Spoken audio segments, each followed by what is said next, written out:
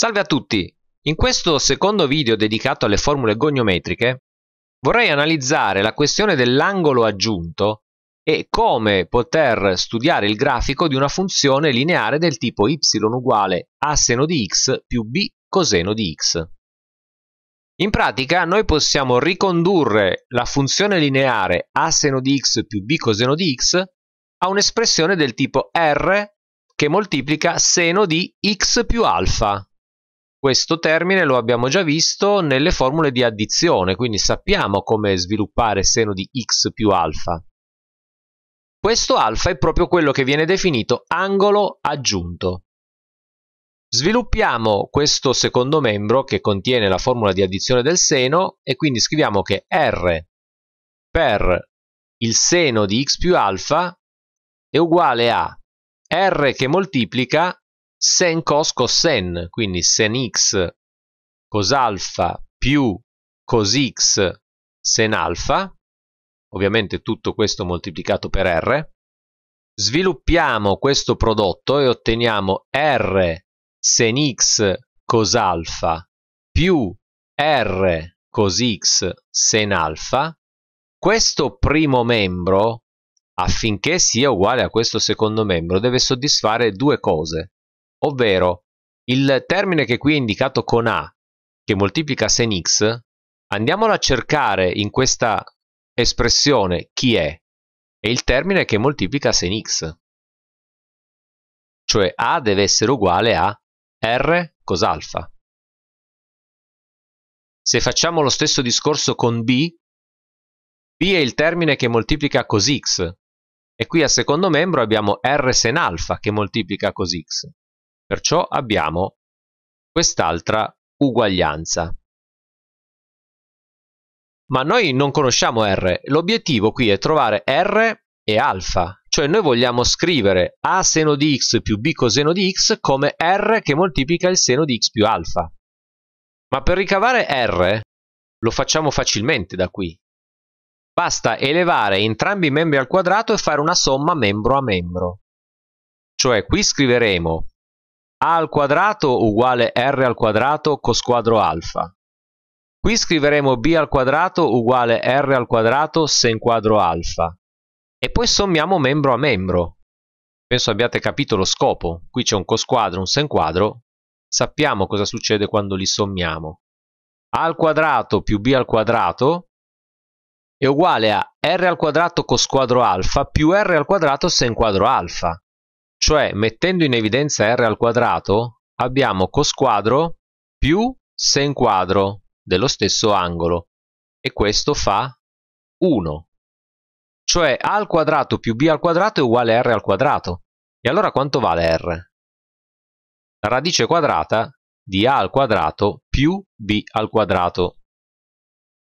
Prendiamo il valore positivo perché noi stiamo cercando un valore positivo. Questa è una delle nostre richieste.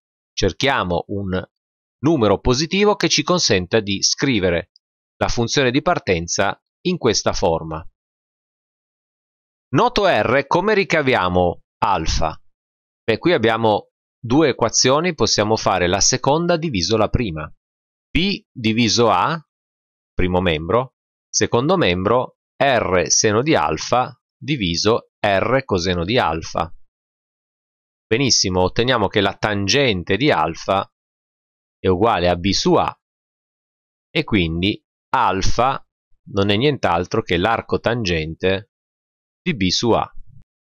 Però attenzione, quel valore può essere positivo o negativo, dipende dal segno di a e dal segno di b. Infatti il segno di a è lo stesso di quello di cosalfa e il segno di b è lo stesso di quello di seno di alfa. Ma facciamo un esempio. Noi vogliamo scrivere sen x meno cos x come un generico r che moltiplica seno di x più alfa. r è a al quadrato più b al quadrato sotto radice. a è uguale a 1 è uguale a meno 1 perché qui c'è un segno meno. Quindi la radice quadrata di 1 al quadrato più meno 1 al quadrato, ovviamente questo fa radice quadrata di 2. La tangente di alfa è b su a, quindi è meno 1 su 1, che è uguale a meno 1. Come abbiamo visto, il segno di cosalfa è lo stesso di a, il segno di sen alfa è lo stesso di b. Cioè qui abbiamo il seno di alfa negativo e il coseno di alfa positivo, proprio perché b è negativo e a è positivo. Quindi seno negativo e coseno positivo siamo nel quarto quadrante. Qui abbiamo seno negativo, coseno positivo. La tangente, essendo seno su coseno, è negativa, in effetti è negativa. Quindi l'angolo che stiamo cercando è nel quarto quadrante. Qual è l'angolo la cui tangente è 1? Se parliamo di angoli positivi, è la tangente di π greco quarti.